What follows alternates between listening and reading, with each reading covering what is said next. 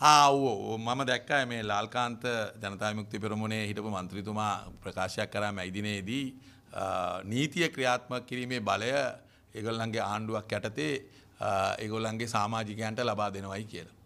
මහිතන එක තාම බරපතල ප්‍රකාශයක් ඒක එම සෙල්ලමට කියපු දෙයකුත් නෙමෙයි. අනිත් පැත්තෙන් ලාල්කාන්ත මන්ත්‍රීතුමා හොඳ කණබෝන එක්කෙනෙක් හිද ඇත්ත කිව්වා. හරිද අනිත් අය ඇත්ත කියන්නේ නෑ. ඒක තමයි වෙනස. මොකද එයා එයා ඔය කියන්නේ අසුවට අසූ නමයි කාලේ ජනතා විමුක්ති පෙරමුණ බෝක්කූඩ කැලෑවල් උඩ ඇතුළ තීන්දු තීරණ අරගෙන ඒව ක්‍රියාත්මක් කලානේ. ඒගොල්ලන්ගේ අසුවට අසු නම කාල ඒගොල්ලන්ගේ තිබුණන පුංචි ආණ්ඩුවක්. ඒ පුංචි ආණ්ඩුව යටතේ ඒගොල්ලෝ තීන්දු තීරණ අරගෙන ක්‍රියාත්මක් කළා. හරි. එතකොට ඒ ඒ ගැන තමයි එතුමා මේ නැවත කියන්න කියන්න කියන එක තමයි මට කියන්න තියෙන්නේ. ඒ කියන්නේ එයා 88 89 කාලේ ඒගොල්ලෝ මේ රටේ ක්‍රියාත්මක කරපු ඒගොල්ලන්ගේ නීතිය.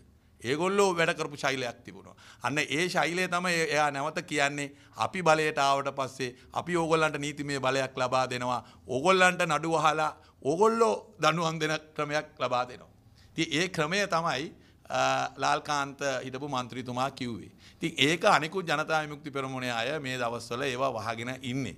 එතම් ලාල්කාන්ත මන්ත්‍රීතුමා හොඳ කනබෝන මිනිස්සෙක් ඉඳලා එයා මට පේන විදිහට එයා ඇත්ත කියනවා අනිත් අයට වැඩිය ජනතා විමුක්ති පෙරමුණේ ඉන්නේ අනිත් සමාජිකයන්ට වැඩිය එයා ඇත්ත තත්ත්වය කිව්වා. ඊට මේක ඉතින් ඇත්ත ඇත්තටම ඒක හොඳට හිතන්න ඕන ප්‍රකාශයක්. එහෙම සෙල්ලමක් නෙමෙයි. ඒගොල්ලෝ පහුගිය කාලේ ඒගොල්ලන්ගේ දේශපාලන මතවාදය අදහස ඒගොල්ලෝ විජේවීරගේ මැයිදිනේදී විජේවීරගේ පින්තූරය අරංගිය නැති වුණාට කාල්මාක්ස්ගේ පින්තූරය අරංගිය නැති වුණාට ඒංගල්ස්ගේ පින්තූරය අරංගිය නැති වුණාට ලෙනින්ගේ පින්තූරය අරංගිය නැති වුණාට මාවසේතුන්ගේ පින්තූර අරංගිය නැති වුණාට ඒගොල්ලො තවම ඒගොල්ලො ඉන්න ඒ මතවාදයා ඒ අදහස කියන එක ටිල්වින්ද සිල්වාගේ කතා වෙනුත් ලාල්කාන්තගේ කතා වෙනුත් මනාව පැහැදිලි වෙනවා. ආව ලබා ගන්නකොට ඒගොල්ලන්ගේ ඩොලර් විසිපාගෙවන්න ඕනේ. ඒකන්නේ අපි සතපාක්වත් ගන්න නෑ ඒ ආයතනයට ඩොලර් විසිපාක් කම්ප කරන්න දෙනවා අපි අපේ රටට එන සංචාරකයන්ට. මොක දේක තියෙන සාධාරණත්වය. කැන ආණ්ඩුවට සතපාක්වත් එන්නේ නෑ. නමුත් අපි අර VFS කියන ආයතනයට අපි අය කරන්නෙත් නැතුව අපිට දෙනවා අපේ රටේට එන සංචාරකයන්ගෙන් ඩොලර් විසිපාක් අය කරන්න. තමුන්නාන්සල හිතන්න මේ අවුරුද්දේ මිලියන දෙකක් සංචාරකයන් බලාපොරොත්තු වෙනවා. මිලියන දෙකක් එකන් ලක්ෂ විස්සක්. ලක්ෂ විස්සකට ඩොලර් විසි පහගාන බලන්නකු මිලියන කීයක් හොයෙනවද කියලා. මේ මේ අපේ රටට එන අයගේ මුදල්න ගන්නේ අපේ රටට ලැබෙන මුදල්නේ එතකොට අපිට පේනවා මේ මේ කිසිම ආකාරය දැන් අපේ රටට වඩා ද අපේ රටට වඩා විශේෂයෙන්ම දැන් අපේ රටට වඩා සංචාරක කර්මාන්තයේ සංචාරකයන් බහුල වෙන රටවල් කීපයක් තියෙනවා. මාලදිවයින. තායිලන්තය ඉන්දියාව ගැන අපේ රට ඉන්දුනීසියාව ගැන අපේ රටට වඩා වැඩි ප්‍රමාණයක් ඒ රටවල් වල ඉනවා. තිය ඒගොල්ල කවරුවත් මේක අවුට්සෝස් කරලා නෑනේ. ඒගොල්ල කවරුවත් මේක පෞද්ගලික සමාගමකට ලබා දීල නෑනේ. එන අපේ රටට වඩා වැඩි සංචාරයක වෙන රටවල්. ඒගොල්ලො දීල නෑ මේ පෞද්ගලික මේ සමාගම්වලට මේ වීසායක හැනල් කරන්න කියලා. අපි ඒ රටවල් එක්ක සංසන්ධනය බලනකොට අපි ඉතාම අඩු ප්‍රමාණය අපේ රටට එන්නේ. තොර ඒ අඩු ප්‍රමාණය ආගමන විගමන දෙපාර්තමේන්තුව මෙච්චර කලක් කිසිම ගැටලුවක් නැතුව මේක කරා. මේ කරපු එක මොකටද දෙන්නේ. ගැටලුවත් තිබුණනම් කියන්න පුළුවන් සංචාරක අයිල රෑ නිදාගන්නවා යාපෝට් එකේ විසදී ගන්න බෑ බත්තරමුල්ල ආගමන විගමන කාර්යාල එලියේ සංචාරයකු පාර බුදියගෙන ඉන්නවා. ඒහින්ද අපි මේක විසඳන්න ඕනේ මේ ඉන්න අයට මේක කරගන්න බෑ. ඒහින්ද අපි මේක අවුට්සෝස් කරනවා. තර්කයක් තියෙනවා. තර්කයක් එතකොට තියෙනවා මේ කිසිදු ආකාරයේ පදනමක් නැහැ තර්කයක් නැහැ. එහෙම මේ වීසා ලබා දීමේ ක්‍රමවේදය ගැන මෙතරකල් ප්‍රශ්නයක් ඇති වුණේ නැහැ. එහෙම නැතුව ඉන්නකොට මේක ලබා දීපු ගැන අපිට තියෙනවා විශාල ප්‍රශ්නයක්.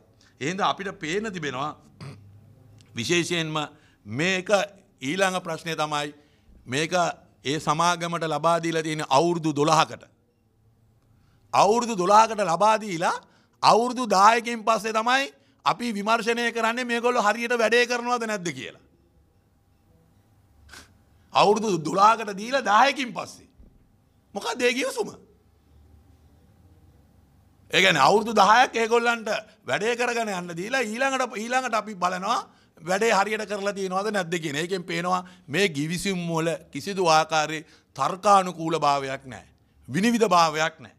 ඒ හින්දා තමයි අපිට පේනවා විශේෂයෙන්ම මේ ආණ්ඩුව දිගින් දිගටම මේ විදියට මේ රටේ මේ රටේ ජනතාව අන්දවමින් දූෂිත ගණුදෙනු රාශියක් පෞගිය කාලය වුණා. අපි දන්නවා ගෝටාබේ රාජපක්ෂ ජනාධිපතිවරයා ඉන්නකොට පොහොරගෙනවා පෝරගෙනාව චීනෙන් කිසිදු කෙන්ඩර් පිටපාලයක් නෑ ඩොලර් හයද ඩොලර් මිලියන හය දසම නමයක් ගෙව්වා. අන්තිමට අපිට ඩොලරුත් නෑ අන්තිමට පොහොරත් අපිටාවෙන මේ සීනි බදු වංචා වුණා රුපියල් මිලියන පාලොස්දාකට වගේ ආසන්න ප්‍රමාණයක් සීනි බදු වංචාව පැහැරෑරිය ඒ වගේ ඊළඟට කෙහෙලිය රමුක් වැල්ල සෞඛ්‍ය ඇමතිවරය හැටියට කරපු ඔහු ගත්ත බාල බෙහෙත් ඒ වගේම විශාල ප්‍රමාණයක බෙහෙත් ගබඩාවල තියාගෙන ඔහු බෙහෙතානායනය කලා ඒ සියලු දෙන කණුදනු කළේ ටෙන්ඩර් ක්‍රියාපටිපාටියෙන් බැහැරව ගිහිල්ලා ඌ කැබිනට් අනුමැති උට තමයි කරේ. තින් මේ වගේ විශාල ගණුදනු රාශයක් තිබෙනවා මේ ආණ්ඩුව කරපු ගණ දෙනු. ඒකදිත් වැදගත්ම දේ තමයි දැන් මේ ඇගේම් කමිටු වාර්තාව ඒගොල අන්තිමට කියනවා ඒගොල අන්තිමට කියනවා මේ වාර්තාවේ තව වැදගත් දෙයක් ලිල තියෙනවා ඒගොල ලියල තියෙනවා ඉඳගෙන නීතිපතිවරයාගේ අවසරය ලබා ගත යුතුයි කියන ඒගොල්ලන්ගේ උපදෙස් ලබාදීල තියෙන. හැබැයි ඇමතිතුමා සාකච්ඡාවේදී කිව්වේ නන් නැහැ. නීතිපතිතුමා මේකට මේ ඒගොල්ලන්ගේ කැබිනට් පේපර එකට අනුමැතිය ලබා දුන්නද කියන එක. දැයි නමුත් ඇගේම් වාර්තාවට පත් කළ කමිටුව කියනවා අවසානයට ඒගොල කරුණු රාශයක් පෙන්නල දීලා ඒගොල්ලො කියනවා අන්තිමට කියනවා මේ සඳහා නීතිපතිවරයාගේ අවසරය ලබාගත යුතුයි ඔහුගේ නිර්දේශ ලබාගන්න කියලා. නමුත් අපි දන්නේ නෑ මේ ආණ්ඩුව නීතිපතිවරයාගේ නිර්දේශ ලබාගත්තද නීතිපතිවතුමාගේ අනුමතිය ලබාගත්තද ඒවා ගැන කිසිදු ආකාරය තවම සඳහනක් නෑ. අපිට පේන තිබෙනවා ඇමතිවරුන් දෙදෙන අතරේ විශාල අර්බුදයක් පැනනැගිල තිබෙනවා මේ ගණු දෙනු සම්බන්ධ. ති මේ ගණු දෙනු සම්බන්ධව විශේභාර ඇමතිවරයයි සංචාරක ඇමතිවරයයි පරස්පර අදහස් ගණනාවක් අද වෙනකොට මාධ්‍යවලට නිකුත් කරලා තිබෙනවා. ඒක තුළ අපිට පේනවා මේ ගණු දෙනුවේ අපිට සැක කරන්න හොඟක් දේවල් තිබෙනවා මොකද අපේ රටේ එහෙම වීස ලබාදීමේ ක්‍රමවේදය අරුබුදයක් නොමැතිව තිබිද්දී. එදා එදා එයාපෝට් එක මේ අර්බුදය මතුවනේ එදා වFS ආයතනය ඒ ගුවන් තොටුපුලේදී කරපු කාර්යභාරය කලින් කරේ ආගමන විගමන දෙපාර්තමේන්තුව. ඒකොල තමයි කලින් ඒ වැඩේ කළේ. කිසි ප්‍රශ්නයක් නැතුව වැඩේ වුණා. එහෙම පෝලින් තිබුණේ නෑ. ඒ වැඩේ තමයි ඒගොල්ලන්ගෙන් ගලෝලා මේ පෞද්ගලිකාංශයකට දුන් දීලා තියෙනවා. ති අපිට තේරෙන්නේ නෑ මේ ආණ්ඩුව කරන හැම ක්‍රියාදාමයක්ම එකිනෙකා පරස්පර වදගීලා අන්තිමට වෙන්න අපේ රටට එන සංචාරකයමුත් අඩුවීම තමයි මේක තුළ වෙන්නේ. ති මේක පේනවා අද වෙනකොට විශාල අර්බුදයකට ලක් වෙලා තිබෙනවා. ඒද අර්බුදය විසඳගන්නත් ආණ්ඩුවට බැරිත් වෙලා තියෙනවා. එක පැත්තෙන් ඇමතිතුමා මේ ගැන කතා කරන උදවිට එතුමා තර්ජනය කරනවා. එතුමා බලාගන්නන් කියලා කියනවා. නිත්‍යානුකූල ක්‍රියාමාර්ග ගන්නන් කියලා කියනවා. මේවා ගැන කතා කරන උදවිය යටපත් කරන්න උත්සාහ කරනවා. සංචාර කැමතිතුමා ඇවිල්ල අනිත් පැත්තෙන් කියනවා එක එක දේවල් එහෙමනම් ඉතින් සංචාර කැමතුමාට විරුද්ධව තමයි ඉස්සෙල්ලාම ක්‍රියාත්මක කරන්න ඕනේ කියලා තමයි අපිට පේන්න තියෙන්නේ. මොකද සංචාර කැමතුමා තමයි ඉස්සෙල්ලාම මාධ්‍ය සාකච්ඡාව පවත්වලා කිව්වේ මේක මේ මේක අපි දන්නෙත් නෑ මේක මේ අනවශ්‍ය දෙයක් මේ කරේ කියලා එතුමා තමයි කිව්වේ. එහෙමනම් ඉස්සෙල්ලාම මේ මාර්ජන ආරක්ෂක ඇමතුමා සංචාර කැමතුමාගේ කට තමයි වහන්න ඕනේ අනිකුත් අයගේ කටවල් වහන්න කලින්. බොහොම ස්තුතියි. ප්‍රශ්න ප්‍රශ්න දෙනවා